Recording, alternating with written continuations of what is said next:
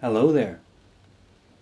Well, this is a special day for new directives and new information. Now, you probably don't know this, that there's a sort of a technical place above me, a kind of like a lab, if you like, where I've been meeting for the last seven months with speech therapists, psychologists, and gynecologists, brain surgeons, and truckers, fishermen, and a farmer with a wooden leg. All of them professionals in their field, and of course, they're all men, real men and we have analysed hours upon hours upon hours of Femon speaking, either to each other or to a man, and the consensus is that it's either gibberish or misinformation. So this strongly backs up the normal way of thinking, and that is don't listen to what a Femon says, just look at what she does. For instance, she will say she hates your friend, she doesn't want him coming round to see you anymore, and then you will find out later she has slept with him. You see, complete misinformation. But if man's nothing else, he's polite. So when a femon is speaking, just smile and nod your head,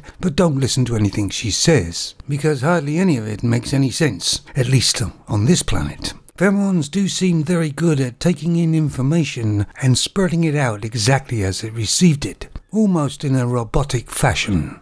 But we found that they hardly ever analyzed the information and made it their own, and individual thinking was very rare. This information has come at a cost. One of our people upstairs is under sedation at the moment, and it doesn't look too good for the outcome. Mind you, he's listened to far more Femon speaking than any one of us. If you have to converse with a Femon, just use casual things like, you know, how's the weather or the weather is nice today. And something like, you know, that's a lovely dress you're wearing. But anything much deeper than that, and you could be in a world of hurt. Just from my own personal experience, I listened to over an hour and a half of a Femon continuously talking. Apart from the fact of me going dizzy quite a few times, I have no idea what the hell she was talking about at the end of it. Now, one of the scientists that we're working with has come up with a hypothesis. Try that when you've had a couple of Budweisers. They think the reason for the gobbledygook speech is that their brain isn't actually connected to the cortex.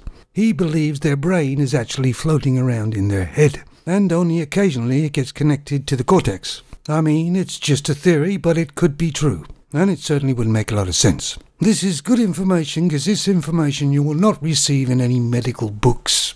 We are pioneers in this field, and I always believe real information is where you find it. What you people do with this information is entirely up to you. And as for me, it makes sense until I find another hypothesis.